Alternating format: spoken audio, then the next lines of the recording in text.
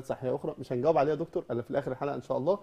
آه عايزين نوجه رسالة بس للسادة المشاهدين إن التكيسات الموبايل هي مشكلة صحية تأثر على حاجات كتيرة جدا مش بس تأخر. تمام. تمام. الناس اللي عندهم تكيس على الموبايل بيبقوا أكتر عرضة للسكر خصوصا اللي هو الناس اللي عندهم وزن زيادة. أكثر ناس تعرض لامراض القلب دايما بيبقى عندهم وزن زيادة اللي هو الدهون. طبعا أنا ما بتكلمش على اللين طيب اللي هو الناس الرفيعين اللي عندهم مشكلة في المبيض مبيض. دايما بتكلم عن الناس اللي عندهم بالظبط. دكتور محمد عندنا مقولة آه، مكتوبة إن ألم البطن ولخبطة الدورة الشهرية هي أشهر الأعراض ما قبل الزواج دي عايزين نوجه برضو السادة المشاهدين رؤيتهم لما يشوفوا بنتهم أو يشوفوا آه، حد من ولادهم بيعاني من هذه المشكلة يبقى ممكن يكون عنده المشكلة ديت ويتم علاجها ما قبل الزواج. فهل دي. مقولة صحيحة ولا لا؟ آه هو دايما شكوى الأم دايما بتبقى قريبة شوية من بنتها فبتحاول تتابعها فبتلاقي هما مشكلتين ما فيش غيرهم. يا إما الدورة الشهرية بتيجي بألم وبتبقى البنت بتبقى مش مستحملة الألم ده أو بيجي بتلبيخ والدورة ما بتجيش إلا كل فترات أو بتيجي بكميات كبيرة. طيب نتكلم عن النقطة الأولانية اللي هي الدورة الشهرية بتيجي بألم جامد. لو الألم ده بيجي إن ده الغالبية يا دكتور ده برضو 90% من الحالات. يعني ده الغالبية إن هم بيبقى فيه ألم شديد أصلا. آه طبعا. بس في بعض الحالات بيبقى الألم لا يستحمل. مم. آه، بيبقى عندها شوية ضيق في عنق الرحم عندها العضلات بتاعة الرحم قوية شوية فبتنقبض بزيادة قصدي مش فبتعمل كل ألم يعني إن فيه تكيسات. لا لا لا خالص. الألم ملوش علاقة بالتكيس المبيض تماما. تمام. الألم لو الألم ده موجود في آخر أيام الدورة الشهرية اللي هو في اللي هو في في, في اليومين الأخرانيين فيهم ده ده بطانه رحم مهاجرة. لكن. لو الألم موجود في أول يومين ده حاجة فيسيولوجيكال وطبيعية عادي خالص وحاجة مبشرة بالخير اللي الدنيا شغالة كويس. تمام ممتاز. خلاص لكن ملوش علاقة بالايه بتكيس المبيض تماما. طيب تلبيخ الدورة. البنوتة أول ما تنزل لها الدورة الشهرية الأم ما تسالش عن دورة منتظمة في أول سنتين من نزول الدورة الشهرية. لأن الجسم لسه بيعود نفسه ولسه فيه هرمونات بتبدأ تطلع وفي استجابة مختلفة لكل شهر الهرمون اللي بيطلع كل شهر. تمام. فممكن الدورة الشهريه تبدأ تنزل بشكل مختلف في أول سنتين.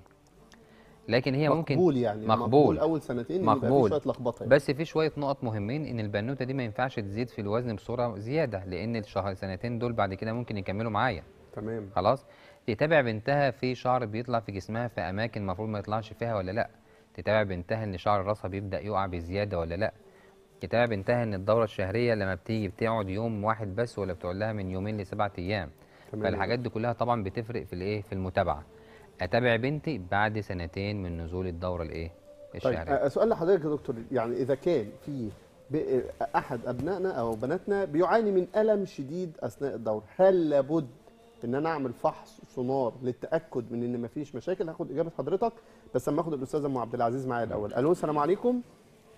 وعليكم السلام. أهلا وسهلا. اتفضلي يا فندم. لو سمحت أنا بنتي عمرها 16 سنة وتجيها الدورة مرة غزيره إيش اسمها مرة كل قد إيه؟ تجيها الدورة غزيرة. كتيرة؟ غزيرة أيوه غزيرة. غزيرة تمام. عمرها 16 سنة. كل قد إيه؟ يعني بتجيلها بانتظام ولا ملخبطة في المواعيد؟ لا لا عادي تجيها كل شهر بتقعد بس- كام يوم؟ بتقعد كام يوم؟ تقعد سبع أيام ثمان أيام. طيب بتغير كام بات في اليوم؟ والله كثير يعني. مثلا اتنين ولا خمسة ستة؟ أيوه من شيء أكثر ممكن من ست احيان تمام. الدم من لونه أحمر ولا بني؟ لا أحمر. أحمر. وزنها كام كيلو؟ بحدود ال 50 تقريبا. تمام. عملت تحليل أنيميا صورة دم؟ لا لا. تمام تمام. أنا والله شاكة يعني ممكن معاها أعراض فقر دم يعني. تمام تمام. ماشي يا أم عبد العزيز. شكرا. يعني عندها مشكلة آه تقريبا ده برضه كان النقطة من- التالتة اللي إحنا اتكلمنا عليها اللي هي الدورة بتيجي بكميات كبيرة ونسينا اللي إحنا نتكلم فيها. ال- الحالات اللي زي دي بيتعمل لها تحاليل اللي هي تحليل صورة دم كاملة عشان نشوف هي أنيميا ولا لأ ونشوف الصفائح أخبارها إيه. بتعمل تحليل سيولة وسرعة النسف وسرعة التجلط. طب لو فرض والحاجات دي لقيناها طبيعية وده الحاجة اللي تضايق بقى. ان دي بقى مشكلة في الرحم نفسه. مشكلة نسا. آه لا دي في الغالب بتبقى مشكلة vascular دي مشكلة في الأوعية الدموية عندها في مشكلة في ال blood wall بتاع ال vessel نفسه اللي هو الجدار بتاع الأوعية الدموية. في الحالات اللي زي دي بندي hemostatic بندي حاجات عشان تعمل انقباض في الأوعية الدموية خلاص. وبناخد علاج حبوب منع حمل بس برضه نوع معين. على فكرة بس في نقطة ان مش كل حبوب منع الحمل كلها زي بعضها. بالظبط. يعني أنا ممكن أستخدم حبوب منع الحمل لسيدة عندها مشكلة ما تنفعش لسيدة تانية. آه، عشان كده ما ينفعش حد يستعمل من نفسه. آه. لازم يلجأ لل... طبعا. للطبيب آه المتخصص. طبعا. فبنمشيها على حبوب منع الحمل لمدة 3 شهور. أنا بتكلم في التحاليل اللي طلعت طبيعية. طيب تمام. لو فرض عندها أنيميا لازم تعالج الأنيميا لأن أكتر سبب في السن ده لنزول الدم بكميات كبيرة هو الأنيميا. لو في سيولة أو في سرعة نسف أو سرعة تجلط طبعا تروح لدكتور باطنه عشان يظبط لها الإيه المشاكل اللي موجوده عندها.